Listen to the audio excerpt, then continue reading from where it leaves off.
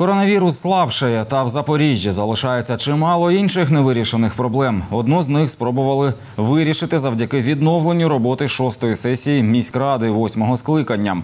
Нагадаємо, вона розпочалась 26 травня і стала найбільш скандальною за цю каденцію. В сесійній залі в той день не проголосували жодного питання та оголосили перерву. Чи вдалося повноцінно відновити роботу? Розповість наша шеф-редакторка Ольга Лебедєва.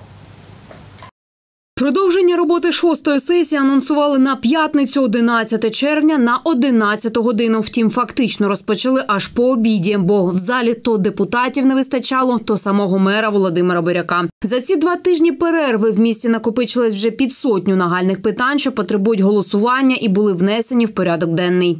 Ми з вами війшли чи нас ввели в ринок газу з тими мільярдами заборгованості населення, з тим, звісно, тоді і заборгованістю, скажімо так, підприємства теплокомуненерго на сьогоднішній день. Ну, От.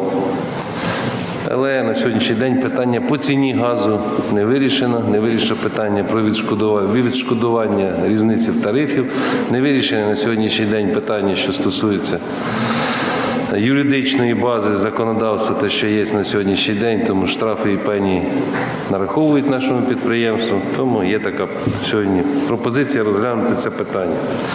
Також, е, ну так скажу, по домовленості між політичними силами ми сьогодні повинні розглянути питання про створення департаменту з питання ефективної роботи комунальних підприємств. Одне з них і стало наріжним каменем 26 травня, адже 5 з 6 депутатських фракцій об'єдналися і вимагають переформатувати склад депутатських комісій та виконкому, аби збалансувати. Бо на їхню думку, сьогодні у владі міста спостерігається явний перекіс на користь однієї політсили. Друга спроба довести шосту сесію до кінця, хоч із запізненням, але стала майже успішною. Депутати проголосували всі питання, що стосуються матеріальної допомоги, та повернули пільговий проїзд пенсіонерам і. Знову оголосили перерву. Ймовірно, минулих тижнів простою не вистачило політсилам, аби дійти згоди, чи будуть інші рішення сесії. Ми розповімо вам в наступних випусках Алекс Інформ.